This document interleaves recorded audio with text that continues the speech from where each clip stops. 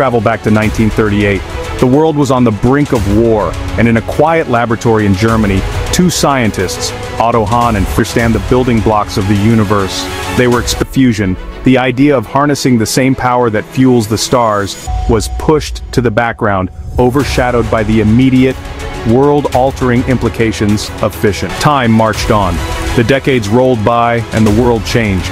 Laboratories became more sophisticated, computers replaced slide rules, and the dream of fusion power remained just out of reach. Scientists built, the experiment begins. Neutrons are fired at lighter elements, and the data starts to flow.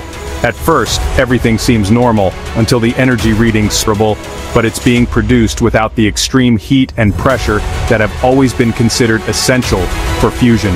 The team double-checks their equipment of the next gen the blue idea the right possible. Patients go far beyond the laboratory. If this new form of fusion can be harnessed,